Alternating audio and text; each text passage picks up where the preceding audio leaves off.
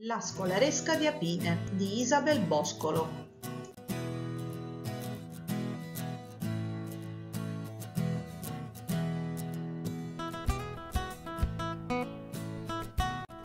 Ci sono sette apine abbastanza birichine, che non sempre hanno tanta voglia di studiare, ma grazie alla pazienza della maestra riusciranno a portare a termine una grande impresa.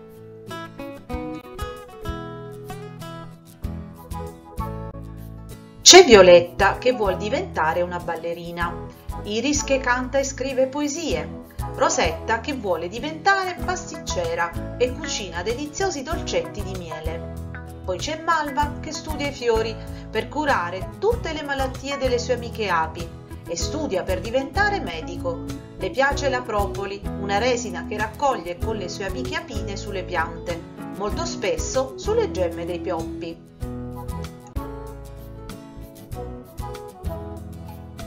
La pila malva usa la propoli dappertutto. L'ha utilizzata per costruirsi una meravigliosa casetta, per stuccare le fessure delle sue finestre e la utilizza tutti i giorni come agente sanificante da quando c'è il coronavirus.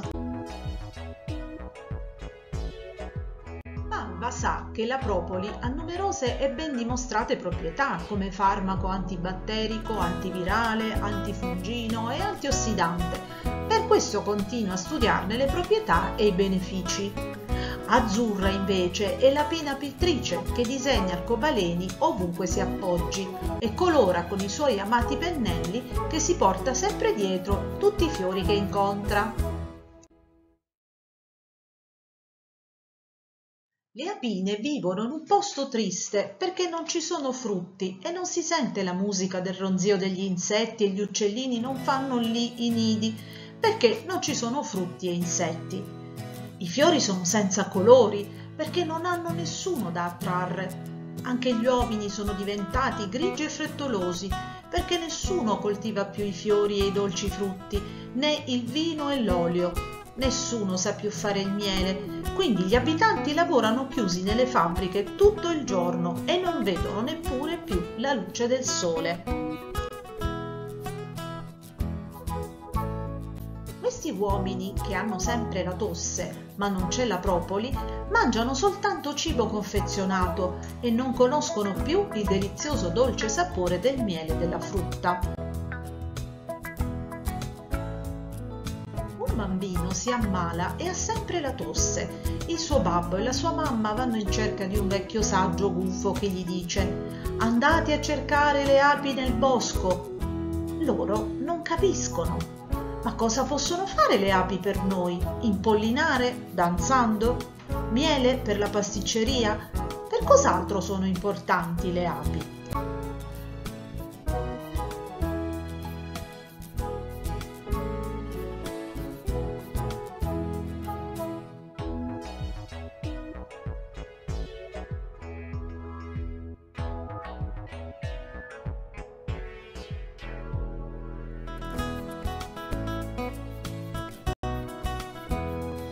Capitolo 1 Incontro con le api Un giorno le api, sentendo un rumore, si nascondono dietro agli alberi. Poi i genitori di Mirko si avvicinano. La maestra prende coraggio e chiede Chi siete? Loro si presentano e chiedono aiuto per Mirko, che ha una brutta tosse. L'ape maestra li rassicura una nostra sorella dottoressa vi potrà aiutare. Così ordina a Malva di andare a cercare i fiori per il miele. Le altre api suggeriscono ai genitori di trovare dei semi da piantare.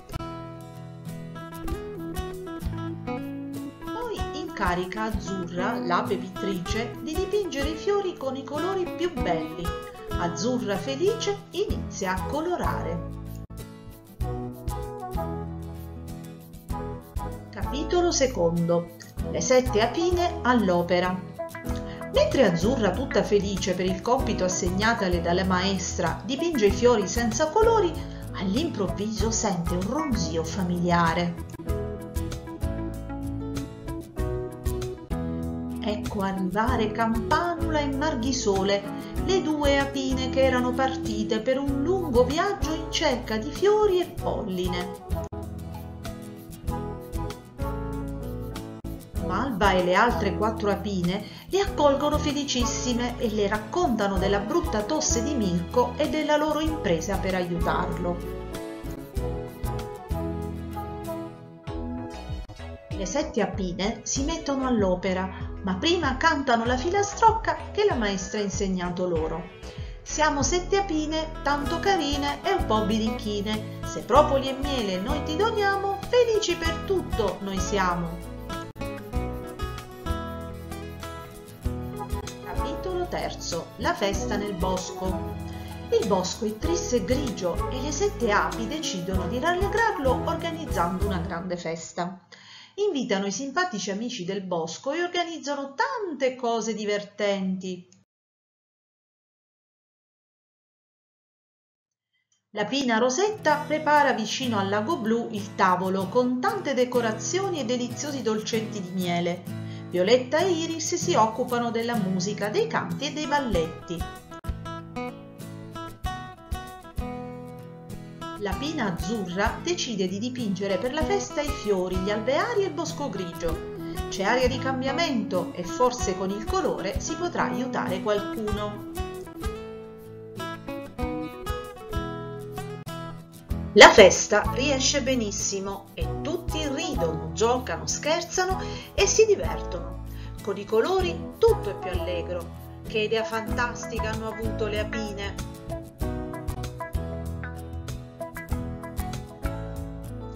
Capitolo 4 Sorprese in arrivo Campanula e Marghisore alla fine della festa fanno una sorpresa. Per ringraziare dell'accoglienza regalano una lettera a tutte le apine e ai genitori di Mirko presenti alla festa, con tutte le ricette di cibi deliziosi ormai dimenticati.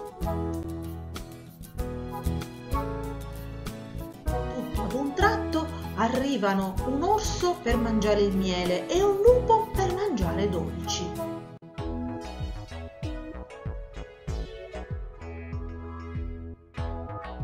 Tutti fuggono e le apine si nascondono dietro all'alveare, ma Mirko, ormai guarito dalla tosse, grazie alla propoli, si mette ad urlare con la sua voce forte e squillante. Il lupo e l'orso spaventati scappano. Quanti amici riescono a farsi le api grazie alla loro generosità e al loro spirito di collaborazione. Capitolo V. La fabbrica di propoli. Mirko, ormai guarito, vuole con le sue amiche api aiutare tutti gli altri abitanti a guarire dalla brutta tosse. Decide così, insieme a Malva e alle altre, di aprire un'azienda dove produrre barattoli di propoli.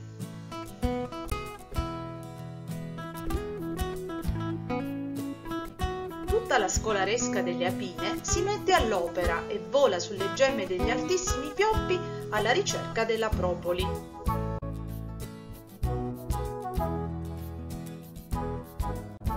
La maestra e Mirko sono felici Finalmente le apine, con tutta la propoli raccolta, potranno guarire tutti gli abitanti dalla tosse.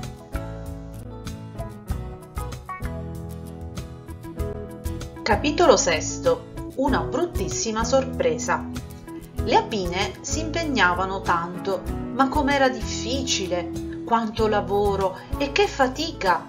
Lavoravano fino a tarda notte e ricominciavano quando nasceva il sole l'intero giorno in giro a raccogliere nettare e polline per il benessere di tutti gli esseri viventi, ma farlo era importante e necessario. Insieme a loro, nel lungo viaggio, c'erano anche i fuchi, ma solo per accompagnarle, perché su di loro non si poteva contare per fare nulla.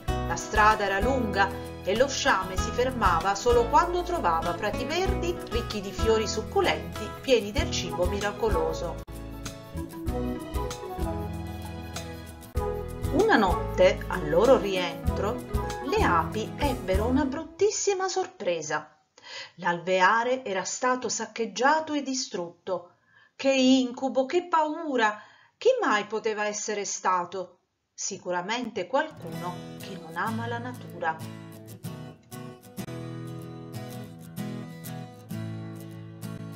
In fondo ad una delle cellette, l'ape regina, disperata e stanca, cercava soccorso per le sue piccole larve.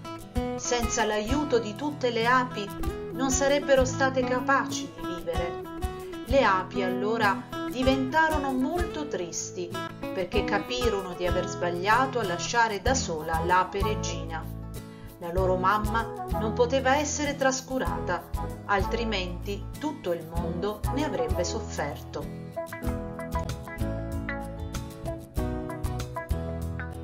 Capitolo settimo il trionfo della natura. Decisero per questo di fare una riunione generale per organizzare la giornata. Divisero così i lavori in tre gruppi. In questo modo ogni apina poteva scegliere a seconda dei propri interessi in cosa impegnarsi. Lavorare e fare quello che più interessava avrebbe reso la loro vita migliore e piacevole. Un gruppo con Violetta e Iris si sarebbe fermato per far compagnia alla mamma, rallegrandola con canti e balli. Un altro gruppo, con Azzurra, si sarebbe impegnato a colorare meravigliosi quadri nella natura. Il terzo gruppo, capitanato da Malva, si sarebbe occupato di riempire la dispensa di propoli.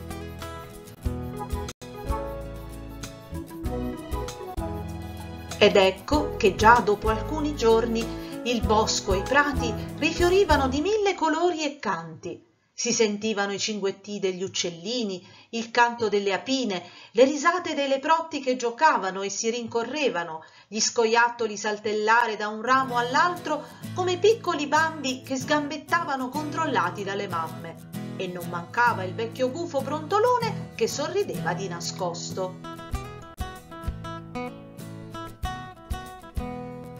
Gli uomini hanno così capito che senza le api il mondo sarebbe stato grigio e forse addirittura morto e per ringraziarle dedicarono loro una poesia.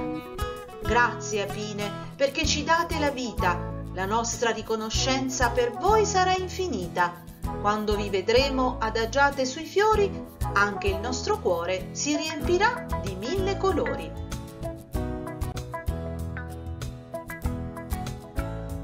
Capitolo ottavo. Salviamo le api.